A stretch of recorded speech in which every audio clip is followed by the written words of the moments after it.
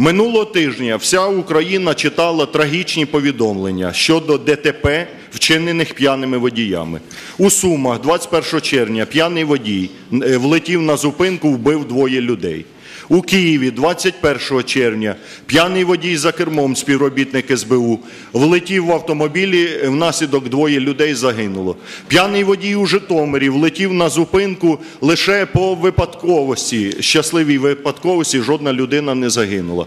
Я хочу нагадати, що минулого року в Україні внаслідок ДТП загинуло 5 тисяч 94 людини. Загалом, шановні колеги, за 22 роки незалежності України загинуло в Україні 170 тисяч людей.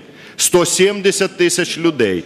Із них 47% загинули по вині п'яних водіїв. П'яних, які перебували за кермом.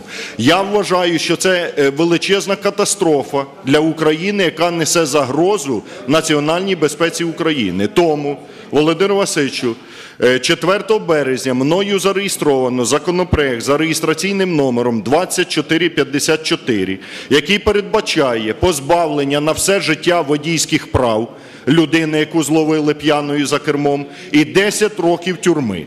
Законопроект розглянутий в комітеті, є висновок. У мене до вас прохання. Давайте ми цей законопроект винесемо на розгляд на цьому тижні до залу, розглянемо його і зробимо все від нас залежне, щоб припинити цю вакханалію п'яних на дорогах.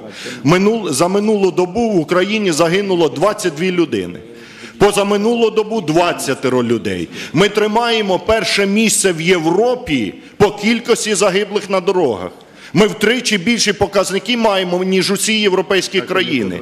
І з ми маємо щось робити. Ми не можемо мовчати. У нас кожен день від 20 людей гине на дорогах, половина з них через п'яних водіїв. Це катастрофа, на яку парламент має відповідати на цей виклик. А ми закриваємо очі, робимо вигляд, що нічого не відбувається.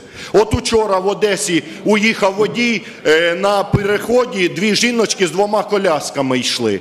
Він уїхав у ці дитячі коляски. Водій п'яний, 18 років йому. Він п'яний за кермом. Ледь не вбив тих нещасних дітей, які в колясках. Як мовчати, як на це не реагувати? Тому прохання 2454 розглянути на цьому тижні винести в зал.